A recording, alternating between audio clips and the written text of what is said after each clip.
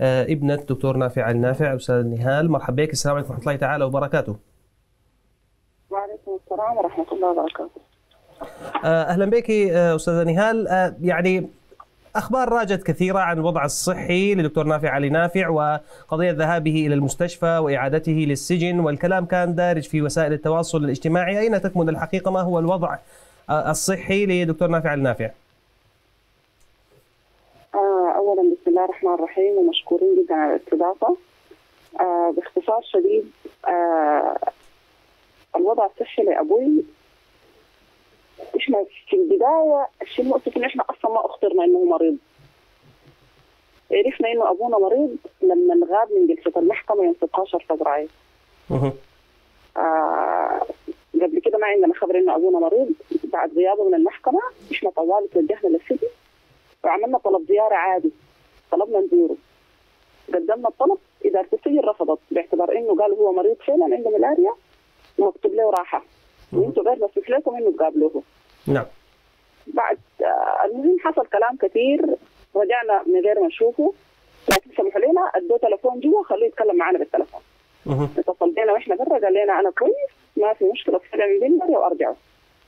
رجعنا اليوم الثاني الأربعاء اللي هو 17 فبراير رجعنا السجن قدمنا طلب زيارة جديد وسمحوا لنا نقابله.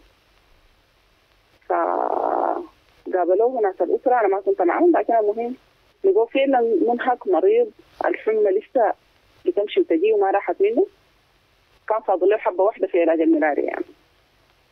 الخميس اتصلنا بالضابط النبطشي في السجن بالنسبة سألنا عنه الجمعة برضه ادونا يتكلمنا معاه بالتليفون هم الضابط النبطشي في السجن سالناه الحمى لسه شديدة يعني. وحالته بدأت تسوء.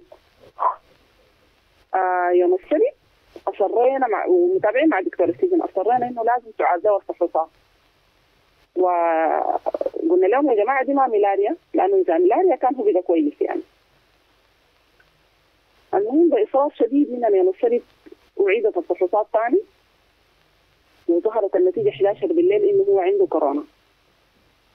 السبت الصباح الأحد الصباح الأحد الدكتور تواصل معنا طبيب السجن وقال أبوكم ده فعلا عنده كورونا وشوفوا له غرفة في المستشفى نحضر غرفه نقول له ونحن فعلا اجتهدنا وهو اجتهد معنا لحد ما وصل المستشفى يوم الأحد بعد صلاة العشاء.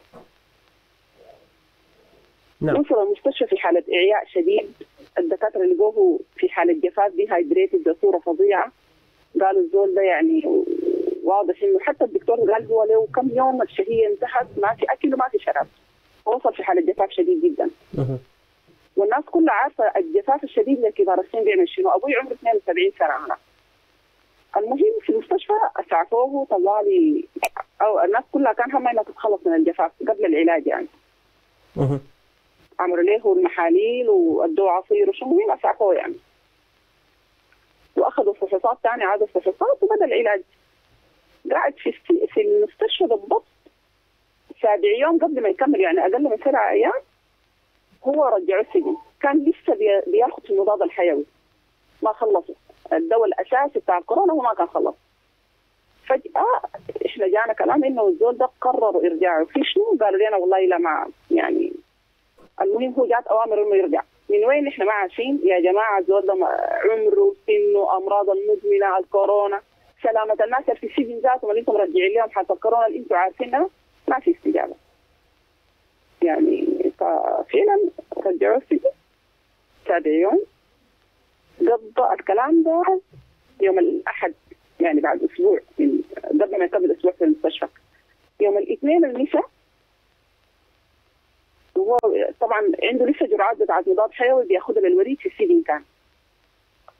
الدواء عمل له تحسس شديد.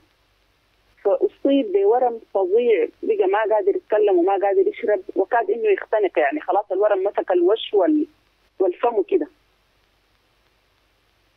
إحنا جاتنا عرفنا يعني إنه هو كده. بعد ذاك بقينا ضربنا للضابط النبطشي في السجن. ما ادونا تكلمنا معه لكن قال أنا متابعه. ولو حصلت حاجة أنا بالليل بحوله باسعاف يعني. لكن ما سمح لنا أصلا نتكلم معه. ورفض تماما يمشي يديه التليفون. بعد ذاك إحنا عرفنا هو ما كان قادر يتكلم عشان يدوه التليفون يتكلم معانا يعني. عدى الليلة دي كلها في السجن لحقوه بحقنه بتاعت كورتيزون عشان التحسس يخف شوية. وبدينا من امبارح الصباح برضه رحلة نفس الكلام نمشي السجن مطلوب إنه يودوه امشوا القضائية ارجعوا معارف. المهم المغرب امبارح هو يا دوب تحول للمستشفى. نعم. شفناه أنا شفته امبارح لما جابوه المستشفى. يعني ورم بغير الملامح. ما ما يعني ورم شديد حقيقي يعني. لكن الحمد لله كان شوية نزل. الآن هو الحمد لله أفضل يستطيع إنه يتحدث ويستطيع إنه يأكل ويشرب لكن ما زال الآن يعالج من الحساسية دي وتحت المراقبة يعني. حتى حالته ما كانت طبعا الشيء المؤسف إنه لما سمحوا له إنه يطلع من السجن قالوا له فحوصات وارجاعه مرة أخرى. ما عشان يرقد في المستشفى. لكن الطبيب اللي استلمه أصر إنه ما يرجعه قال دي ما حالة ترجع للسجن ثاني نعم. لكن كل ال- ال- ال- الشغل يعني ال- التصديق طلعوه من السجن إنه يمشي يشوف الحاصل على شنو ورجعه نعم. ده الوضع الآن كده يعني. طيب آه، يعني هل في آه، أسباب لهذا التعامل واضح؟ آه، الآن ظهرت أنتوا قلتي قبل نعم. كان ما قالوا لكم السبب شنو قال لكم في توجيهات بس. لكن هل الآن مثلا ظهرت لكم حاجة وأنتم بتتهموا زول أو في شيء يعني وضح لكم في هذا الخصوص؟ الشيء الواضح لنا كالاتي، أول شيء واضح لنا إنه الآن بيئه السجن دي ما بيئه أنت تأتمن عليها، يعني إحنا زمان بنفتكر إنه آه في مهنيه بغض النظر عن الأسباب شنو ال- الناس دي الموجودين بها. حق باطل، المهم هو زول معتقل في السجن عنده حقوق، الآن إحنا اتضح لنا إنه كل الحقوق مهضومة، نحن الآن ما قادرين نأمن حياة أبونا في المعتقل، أصلا ما قادرين. نعم. لأنه هو حقيقي أول امبارح ربنا لطف ويعني وعنده عمر بس.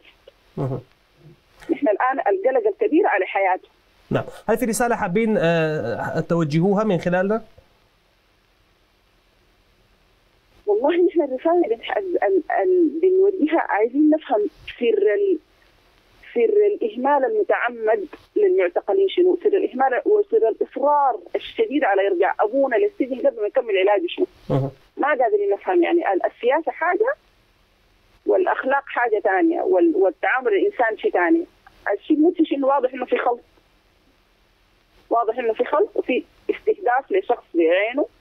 وأظن كلكم انتبهتوا قبل كم يوم كان شنو في ال- البرامج اللي كانت يعني تبث عبر وسائل الت- وسائل التواصل الاجتماعي أو عبر التلفزيون القومي وتابعته طوال الأحداث. دي. نحن بنتساءل شنو المقصود إنه زول مريض بالكورونا سبع أيام ير- يرجع السجن. وعشان ثاني حصلت له مضاعفات يعني بشق الأنفس حتى يسمحوا له إنه يمشي يشوف طبيب يشوفوه يعني الزول. نعم. أستاذة نهال نافع النافع شكرا لك على هذه المداخلة.